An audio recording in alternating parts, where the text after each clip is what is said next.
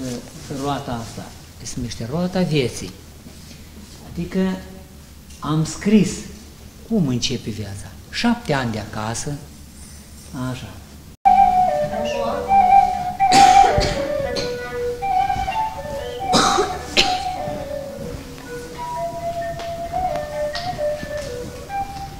La stână, este oi frumos, Sara, cântă la caval, caval se numește.